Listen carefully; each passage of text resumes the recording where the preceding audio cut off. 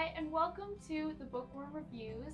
This is our show where we go into depth about reviewing books that we hope our customers could definitely get into. We review books for everyone. We're here at the Bookworm. I'm Kailey Weisgerber, the host, and I work here with my mom, Leanne Weisgerber, the owner of the store. Come check us out off Wye Road.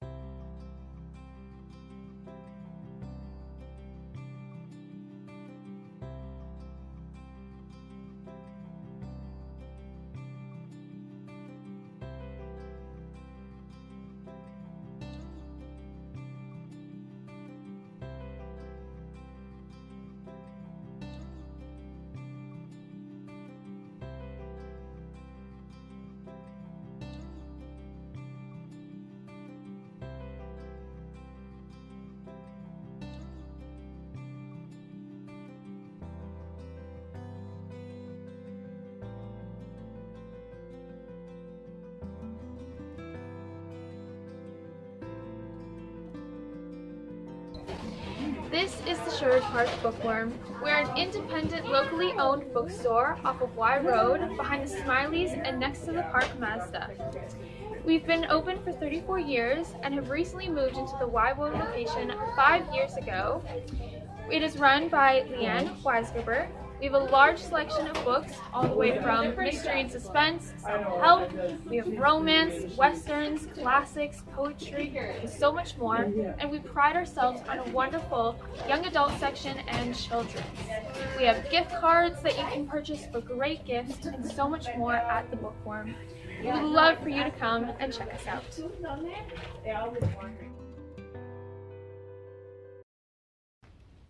Hello and welcome back to the Bookworm Reviews. Um, we're so excited to have you all back today. Today we are going to be looking at the book Pretty Things by Janelle Brown. This is one of my more recent reads that I just read. It is a contemporary mystery thriller.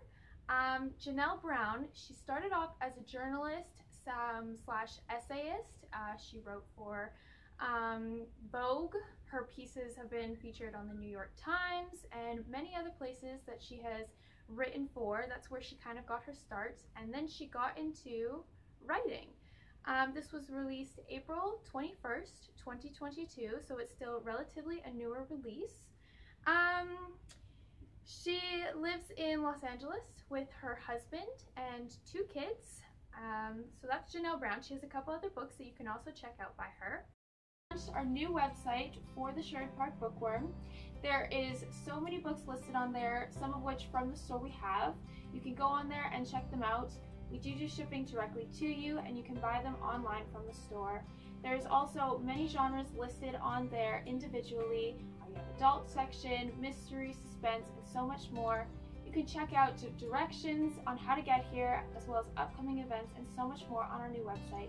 Please check it out, bookworm.ca. So this one starts off with Nina, who is introduced as our main character. She is a thief. So she targets um, rich people's children and she goes after them and robs smaller items from them, still expensive but nothing crazy so that doesn't really attract attention and that's how she kind of gets by and makes her living. She has a partner Lachlan who they do it together, partners in crime. We also have another main character who is also a narrator in the story, which is Vanessa. She comes from a much wealthier family. She has, her family has a place called Stonehaven. It's on Lake Tahoe. It's another estate that they own. So the book is divided into eight different parts and each part flip-flops between Nina's point of view and then Vanessa's point of view. So Nina comes from a much, she uh, was raised by a single mom. Her mom didn't really have an official job, comes from a much more um, poor, if you will, background, whereas Vanessa comes from a lavish, old money type of family. So very different contrasting main characters. They met each other before in their past when they were younger um, teenagers. Uh, their paths cross whilst on Lake Tahoe. It involves around um, Stonehaven.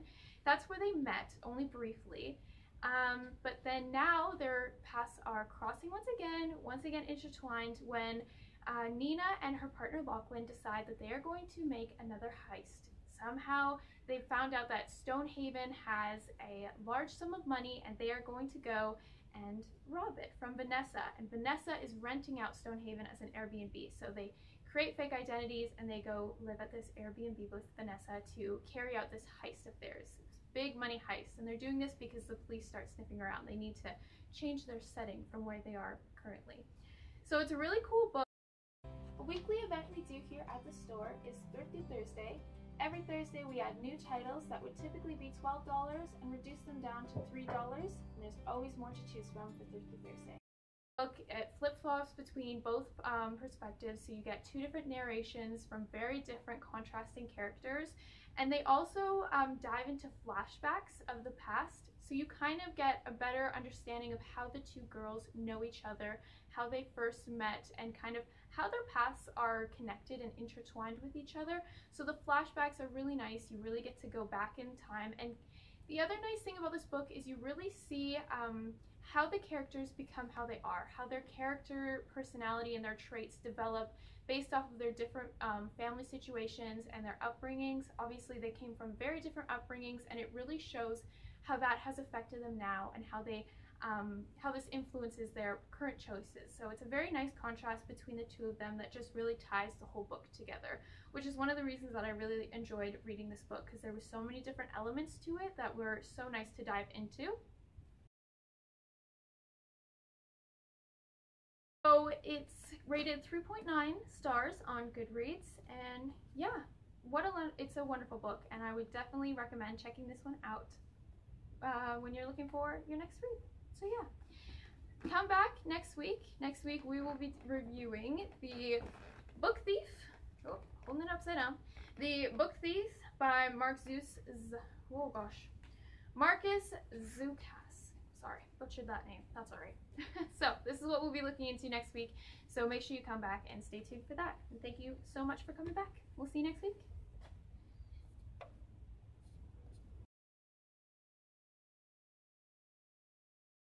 Hi, I'm Susan Baker. I am the owner of Boutique on First. We are located at 7115 101st Avenue Northwest in the Capilano Ottewell neighborhood. We carry an assortment of home decor. We also have candles, jewelry. We have outdoor garden, home and garden as well. We do carry an assortment of clothing. We recently added the Joseph Ribkoff line that is doing very well in the store right now. We try and support Canadian vendors as much as possible, so a lot of our stuff comes in from Vancouver. Everyone's heard of Papillon, we carry a good assortment of them. We've just introduced Tribal as another line uh, this summer, and we're also going to be bringing it in in the fall. We also carry our Wild Prairie soaps that is made in Edmonton. We carry the hand creams, the soaps, and their rock soap dishes. Some of the jewelry that we carry, this line here is Merck's, and this is in from Toronto. We also carry some of the hammered metal in the Glee jewelry as well, and that is out of Vancouver Island. We also carry the Inis perfume from Ireland. It comes in the cologne, the body wash, and the body lotion. You can follow us on Instagram and Facebook as well as our website at info at boutiqueonfirst.com or info at boutiqueonfirst for our Instagram and Facebook.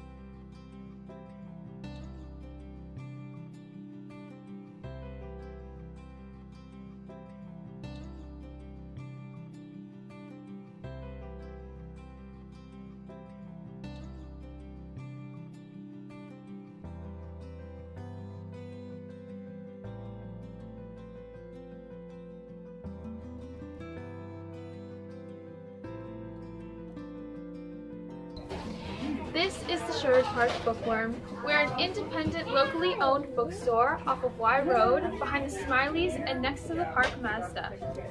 We've been open for 34 years and have recently moved into the Wye Road location five years ago.